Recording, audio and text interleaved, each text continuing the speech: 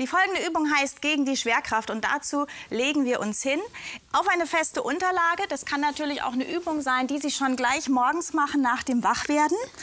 Aus der flachen Rückenlage heraus. Die Füße können ein Bein aufstehen oder auch auf einem Kissen zum Beispiel abgelegt werden, denn wir üben mit einem Bein. Ich nehme das rechte Bein zur Decke hoch. Was jetzt passiert, ist, dass alleine schon durch die Schwerkraft die Blutströmungsgeschwindigkeit beschleunigt wird. Und was wir jetzt hier machen, ist wiederum einmal die Aktivierung der Muskelpumpe, der Wadenmuskulatur mithilfe des Sprunggelenks.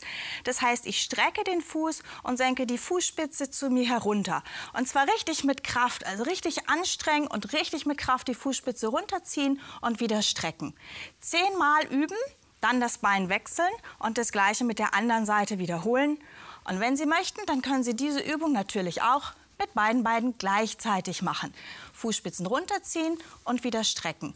Ideale Übung für morgens nach dem Wachwerden, um fit zu werden, um die Blutzirkulation in Schwung zu bringen. Wer möchte, kann zum Abschluss auch noch ein bisschen in der Rückenlage Rad fahren.